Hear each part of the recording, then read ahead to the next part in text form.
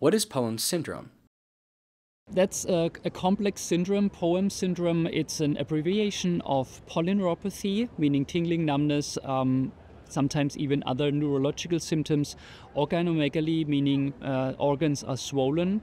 Endocrinopathy, meaning that there are hormonal organs involved that can have changes. Um, monoclonal gammopathy, obviously, that's uh, what connects it to MGUS and myeloma.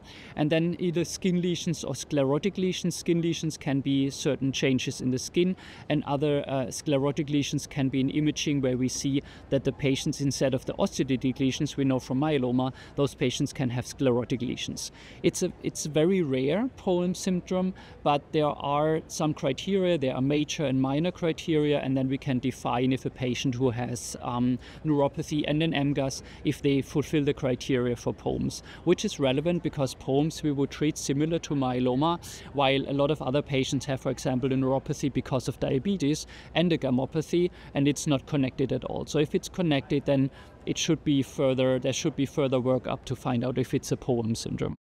Is POEMS syndrome considered a precursor condition for multiple myeloma? I think there's no clear definition of it. It is a separate, similar to amyloidosis, which is also related to myeloma and gammopathies, but not exactly the same. So POEMS has some different biology, so I would not say it's a myeloma, but the treatment, because it's also caused by monoclonal plasma cells, uh, the treatment is very similar to myeloma.